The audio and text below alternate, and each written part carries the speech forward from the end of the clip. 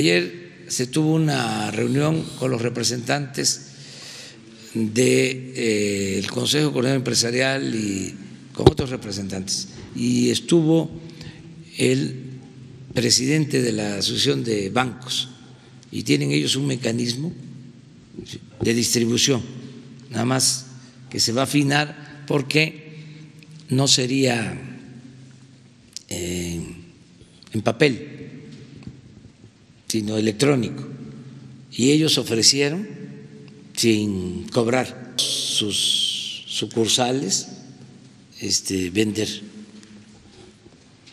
pero electrónico. Eso se quedó en revisar como un mecanismo de distribución. Pero la gente va a ayudar. Y los eh, empresarios, les comentaba yo, este, han manifestado que quieren también colaborar, ayudar, lo están haciendo y el miércoles este, ya vamos a saber cuántos compromisos eh, de venta de boletos se concretaron.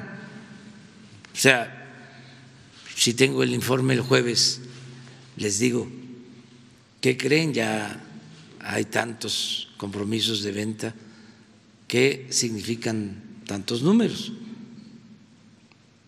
Y vamos a estarles informando constantemente.